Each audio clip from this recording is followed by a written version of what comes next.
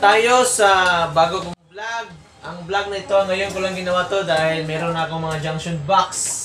Saka receptacle, valve, switch, outlet. Kaya ngayon ko lang to ginawa dahil ngayon lang ako nagkaganito. Nagkaroon ng ganito. Ang pag-uusapan natin ngayong araw na to at tatalakayin natin ngayong araw na to ay tungkol sa paano ka mag-wiring ng bahay. Basic lang to mga makarter. Ito ang gagawin ko ngayon ay pailawin natin itong isang ilaw na to. At saka pag itong outlet na to, papaganahin natin.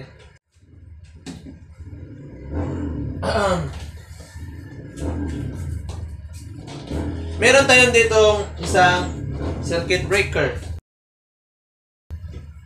Septacle, switches, tugang, saka outlet. Bago tayo mag-umpisa, syempre meron tayong gloves for safety. Pero kahit wala ka ng gloves, ayos lang. Pero kung meron, mas mabuti. Yan. Rubber gloves, rubber dito. Ito lang yung gloves na meron ako kasi mura-mura lang. Pero merong gloves na mas maigi pa dito. May may gloves ka pa mabibili na mas mabuti pa dito. Yung mas may atong rubber. Kaya, so umpisa na natin. Ito na yung ituturo ko sa inyo. Napaka-basic lang to. Pwede na itong gawin sa mga bahay-bahay o pwede na rin sa kahit ano, kahit saan ka mag-wiring. Ito yung una. Oh.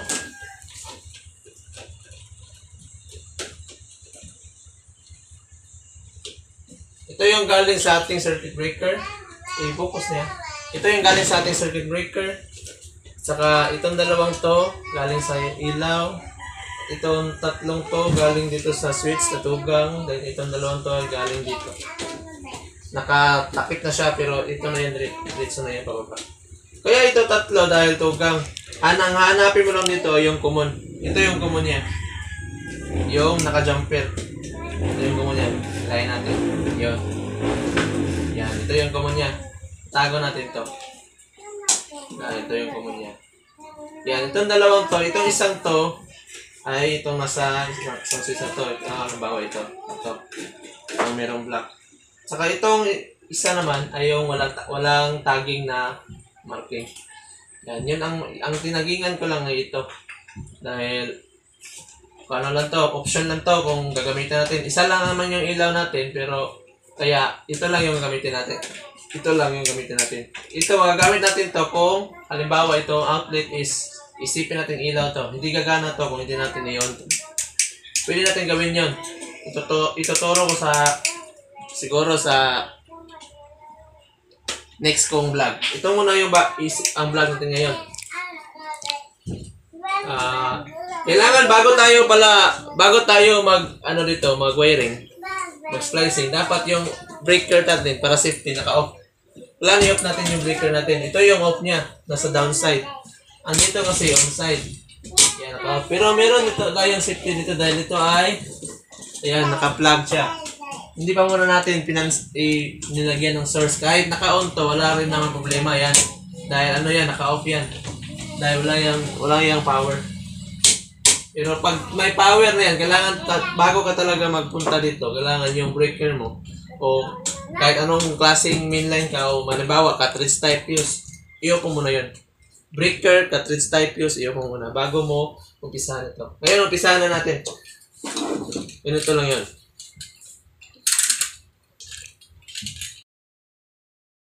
Kung wala ka nito, pwede rin cutter. Ah, side cutter, diagonal. Diagonal cutter. Pero kung meron ka nito, mas maigi dahil para mabilis. Yan.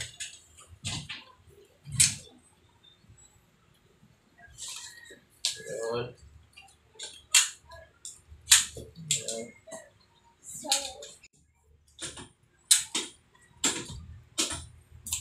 Papakita ko sa inyo ha. Kung wala ka nito, pwede yung ibang gagamitin nyo. Halimbawa ito. Kung wala ka nito, pwede ito. Ito. Saka, itong flyer. Ganito lang yan eh. Jackie. Cut ka dito. ay ano mo dyan, i-hold mo dyan, tapos ganito yun po. Pi- pi- fix lang yan, ganyan lang yan, hold lang yan. Tapos ito yung gagalawin mo. Yan o. Kita nyo? Yan. Yan. Ma- mabilis lang din, di ba? Ito, kakatin natin, kakatingin natin ito.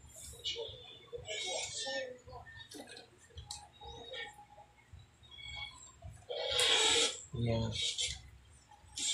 Yan. Yan.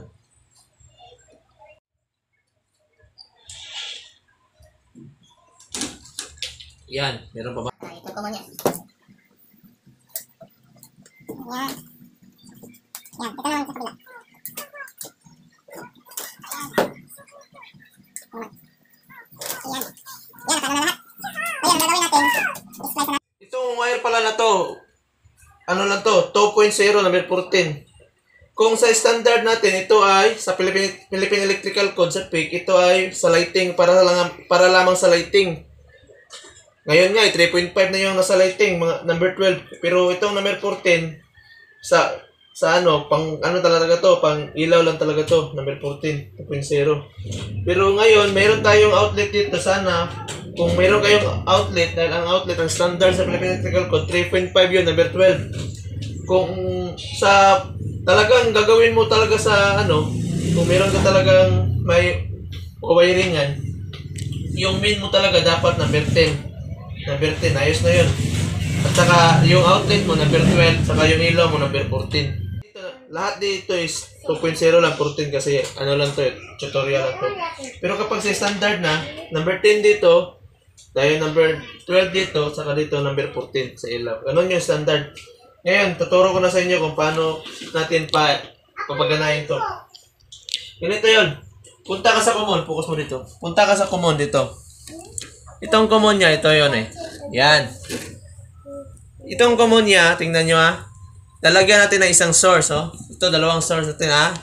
Line 1, line 2. Yung line 1 niya, talagang nandito yan sa, ano, kaliwa. Ganito, kung gaganyanin natin yan, dito yon kaliwa to, yung line 1. Ito yon Ang ating line 2, ito namang sa kanan, sa right. Left ang, ka, ang line 1, ang line 2 is right. Ito yun. Kahit saan ka kumuha dito, sa line 1 ba o line 2. Pero sa atin, para mas may, madali nyo maintindihan at mauna, maunawaan nyo ng mabilis, sa mabisang paraan, ganito yun. Yung line 1 natin, ito yung mata, mahaba. Yung line 1, punta natin sa common dito sa switch. Yan. Talaga sisiguraduhin nyo na nasa common talaga tong ano nyo ah, buhay. Kapag dito nyo na inilagay sa hindi common, halimbawa dito nyo na ilagay, okay lang yon kung kung one gang lang, kahit saan dyan. Pero kung tugang, halimbawa, itong tugang, kung dito nyo inilagay yung ano, source, yung line 1, sa, hindi sa common, pagka on nyo nito, oo, gagana siya. Pero ito, ito, hindi gagana to kung hindi nyo i-on to. Hindi, hindi katulad na nasa common, kahit i-on nyo pa to, magagana. Pag ito i-on nyo rin at i-off, gagana. Pag ito naka-off, pag i-on mo yan, gagana. Yan ang kaibahan kapag dito nyo na, hindi nyo na ilagay sa common yung buhay. Kapag tugang. Pero one, kung one gang lang, kahit saan dyan, walang polarity, kahit saan magkabali-bali pa kayo. Ito yung ano niya, common ha. Ito yung inuna ko, common. Para madali nyo mas maintindihan. Ayan.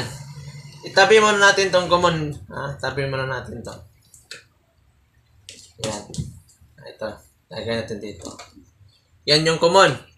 Pagkatapos ng common, ito namang yung source. Yung, ah, common. Ito naman yung line 2. Tapos na yung line 1, di ba? So, ang line 2, ganito naman yun. Yung, is, yung sa ilaw side, dalawa yung wire niya doon. Yung isa, kukunin natin kahit saan dyan. Wala rin polarity. Kahit saan dyan. Kahit saan ka kukuha dyan. Yan. Itatap din natin sa line 2. Yun. Tandaan nyo ha. Yung common, nasa line 1 sa switch. Yung line 2, nasa ilaw. Yan. Tabi natin, itabi rin natin to. Hindi na natin tipan yan. Dahil at no, ano lang ito eh, tutorial. Meron tayong electrical tip dito. Pero hindi na natin tipan yan. Yan. Tapos na yun. Tapos na yun. Ngayon, tapos na yung line 1, line 2, wala na, wala nang pwedeng gawin dito. Ito naman, dito punta tayo dito sa, ito yung unahin natin. Hanapin natin to. Ito yun. Yan. Dito natin yan, itatap sa ilaw. Yan. Tandaan nyo ha, yung sa, galing sa switch, ang tawag dito is return. Yung galing sa return, punta na yon sa ilaw. Para makontrol natin yung ilaw na to. Dahil hindi na natin dinairik sa buhay ay sa line 1 line 2 kaya dito siya sa switch. Kaya ako kontrolin siya sa switch. Dito na natin ito ilalagay. Ngayon kung gusto natin pagaganahin tong outlet na to hindi na kayo dapat ma maano dito malito. Dahil itong dalawang to pupu- pupunta lang yan dito kaya lang hindi hindi naman tayo direct doon dahil ano naman to eh. Nan, nandito na tayo sa box kaya dito natin i punta sa box. Ito hanapin na natin yung line line 1 line 2 Ah, ito na yon ito yung line 2 niya papunta sa ilaw. Tap natin yung isa dito. Tandaan nyo ha? Yung is ng yung galing sa outlet line 1 line 2 line direkta yan. Yan. At yung isa niya na lang napitira ay ito ito yon oh kita niyo tandaan nyo yung dalawang yon tap lang sa dalawang dito yan.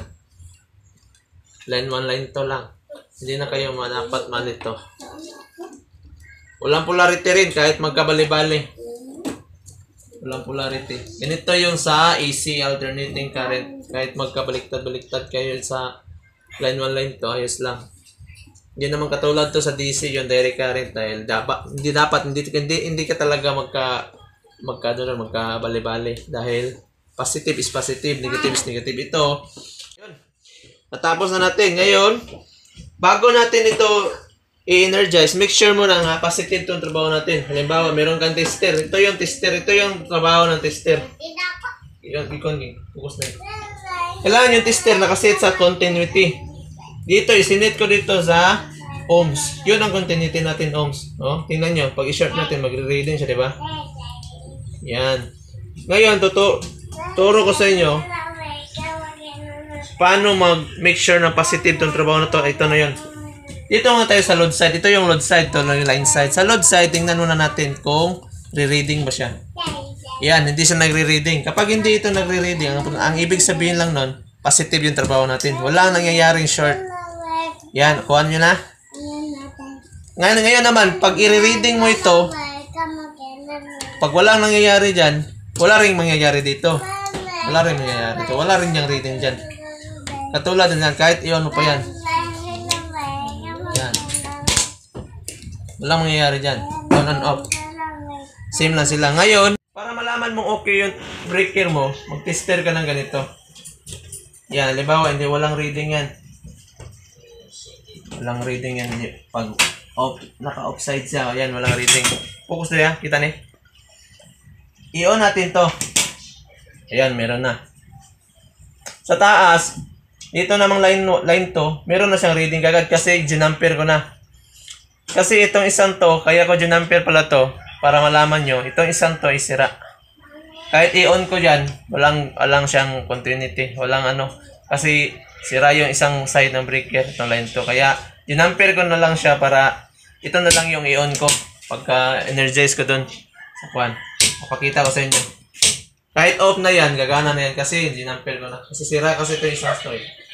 Yun na, alam na natin na ang ating trabaho ngayon ay positive dahil walang walang bumasang continuity doon, walang short circuit. So ayos na to. Pwede na natin to i-energize. Kaya make sure lang muna natin na walang ano. Yan, dyan ka. Yan. So, ah, hindi, meron pala dito para tayo. Yung outlet na to, lalagyan na natin ng outlet.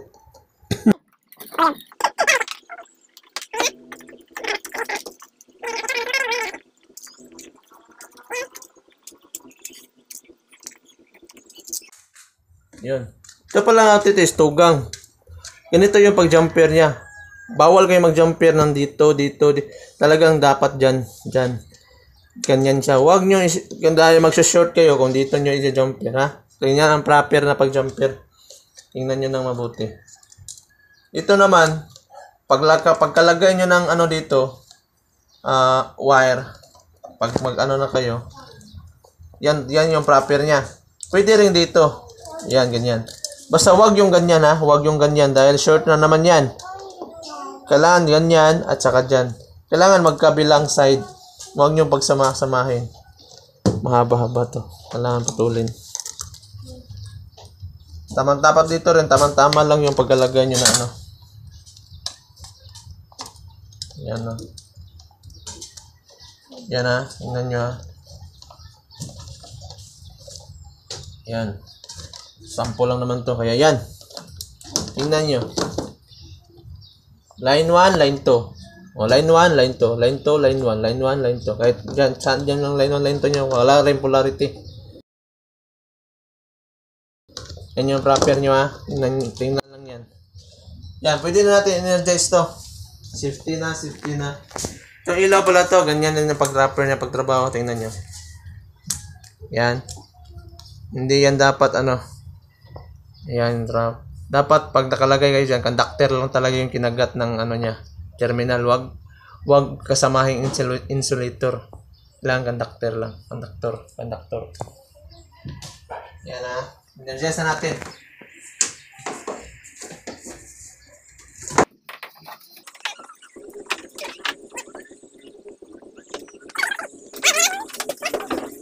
Na. Yan. Atin na itong plug, make sure din na pagkatawad mo nito is ah, pagka install mo nito is ano, kailangan talagang nagkahiwalay rin sila. Huwag mong pagdikit, ha? Ito na 'yon. Ah, unsa natin, buhay na 'yan ha. Plin yan, live na diyan. Ito buhay na ito. Ngayon, ang gagawin natin, sandali. Ito na yan. aboy. Awa, di Iwan na aboy. natin to ha. Buhay na to, kailangan safety yung kamay mo. Wala, hindi ka papunta dito sa line side. Pag iwan mo naman, bawal ka na papunta sa load side na. Yan. Yan, nakaumilaw na siya kagad. Ngayon, i-off natin yan. Yan. Yan yung line 1, line 2. Ngayon, tingnan natin yung outlet, yung gumana ba yun ha. Magpansak tayo doon ng ano, halimbawa, ito. Ito yung halimbawa natin para matingnan natin kung buhay na rin itong outlet na to. Kailangan magkahawak ka nito, make sure na safety ka. Buhin. So, yan o. Buhay na rin. So, yun. Napakita ko na sa iyo yung ano, ang tinuro ko lang dito is one gang switches uh, single line diagram. Ito na yung proper na pag ano na pagtatrabaho na ano. Okay, tingnan niyo, isa lang yung inon ko, di ba? Focus rin. Isa lang yung inon ko. Kasi kahit naka-off na to, kasi okay lang kasi naka-jumper na siya. Kaya ayos lang yun. Ito na yun. Ngayon, kung magre-reading tayo, kahit wala tong electric pan na to, ha, tingnan nyo. Kahit walang electric pan na yan, malalaman natin na mayroon na yung buhay kapag ganito. Yung tester mo, iset mo nan sa voltage. Tsaka doon mo iset sa 750. Kasi yung isa is 1,000. 750 ayos na kasi to 20 lang naman to. eh. Ganito yon. Tingnan nyo kapag nag-reading ng totoo na. Tingnan nyo. Mama, ay. Oh, eh, focus na rin. Kita mo. Ito. Ilan yung reading niya? Sandali ah. Yan. Yung reading niya is 2 to 8. Oh, pagalaw-galaw kasi. 2 to 7, 2 to 8. Yan. 220 pataas. Yan yung reading niya. So, kahit wala kang ano dyan, malalaman mo na may buhay na yan kapag sa paraang tester na to. So, yun. Natapos rin ang ating tutorial ngayong araw na to. Naituro ko na sa inyo kung paano mag-wiring sa bahay. Kung paano paganahin yung switches. At saka paano gamitin yung breaker. Paano mag-safety. So, yun. Magandang, magandang araw at maraming salamat sa panonood ng aking video. Don't forget to subscribe my channel and and click the notification bell para updated kayo sa mga iba, i- mga videos ko pang darating. Saka don't forget to thumbs up yung like para ano, pag-comment sa ibaba sa mga hindi ko pa sa mga gusto niyo pang malaman. Mag-comment kayo sa ibaba dahil ano, subukan ko ituro sa inyo kung ano yung gusto niyo malaman. Yun na yun. Hanggang, hanggang sa muli, mga makasanma. Good vibes!